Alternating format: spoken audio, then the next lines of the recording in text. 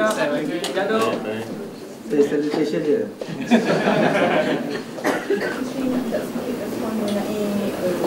Sebab Macam tadi Menteri buat Indonesia baru mengesahkan yang dua anggota ke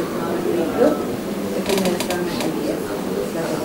Kita sedang rundik, kita uh, kita sentiasa mempunyai hubungan uh, dan berkomunikasi secara berterusan uh, melalui kita punya markas Angkatan Bersama. angkatan bersama yang memang bertanggungjawab terhadap malbat kita eh, yang mana malbat itu sekarang bawah tanggungjawab UNIFIL United Nation International uh, Interim Force. Interim Force uh, for Lebanon UNIFIL.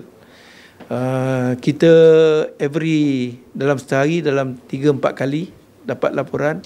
So kita sedang meneliti. Memang kita tak nafikan uh, pihak uh, IDF telah menye, uh, telah uh, melakukan provokasi kepada pasukan Ireland uh, yang uh, yang berdekatan dengan sempadan Lebanon manakala kita atas sikit.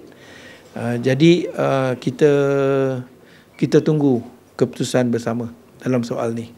Kerana dia tertakluk kepada UNIFIL apa yang kita tahu pertama telah pun dimaklumkan supaya tidak lagi berlaku uh, uh, apa tu uh, uh, diberhentikan segala operasi kawalan memang dah tak ada dan uh, kita uh, sentiasa berada dalam bangka dan dinasihatkan untuk berada dalam bangka satu-satu jangka masa dalam bangka dalam 12 jam 13 jam. Jangan duduk dalam bangka no activity nothing.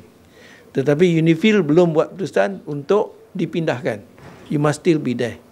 Sebab kalau tidak ada cabaran-cabaran yang lain. Jadi soalnya uh, kita sentiasa berhubung dan kita memang meletakkan soal keselamatan anggota-anggota kita uh, sebagai satu keutamaan dan kita sentiasa memantau keadaan di selatan Lebanon. Setakat ni semua dalam keadaan selamat. Hmm, selamat. Okey.